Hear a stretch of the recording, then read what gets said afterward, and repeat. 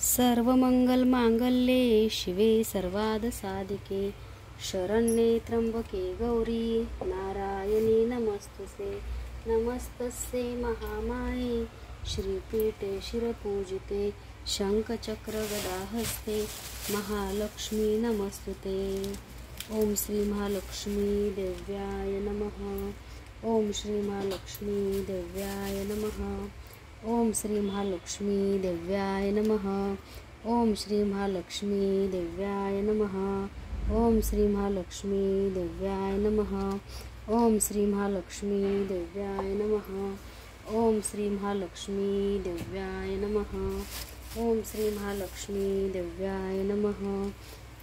امالکشی او سی مہالکش دم امالکشی دم ओम श्री महालक्ष्मी दिव्याय नमः।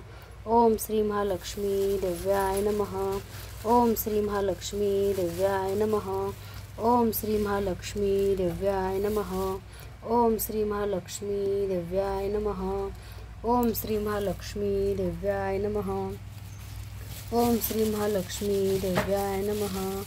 ओम श्री महालक्ष्मी दिव्याय नमः। ओम श्री महालक्ष्मी दिव्याय नमः। ओम श्री महालक्ष्मी दिव्याय नमः.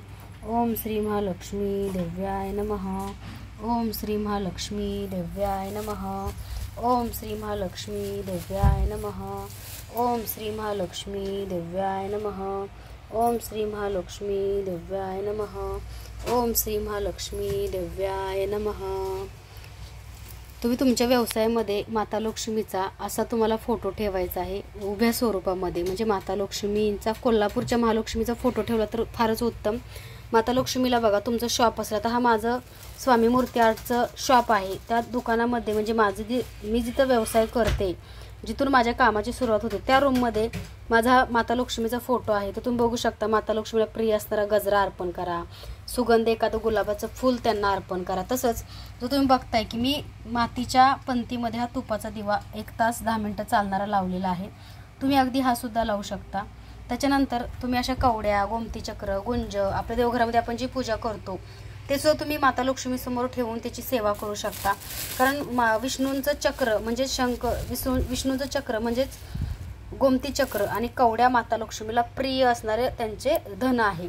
त्याच्यामुळे तुम्ही तुमच्या व्यवसायामध्ये पण ह्याची काळजी घ्या की माता लक्ष्मी प्रसन्न होईल आणि तुमचा व्यवसाय अगदी चांगल्या प्रकारे चालेल. तुमचा व्यवसाय चांगल्या प्रकारे ग्रो होईल आणि तुम्हाला तुमच्या व्यवसायामध्ये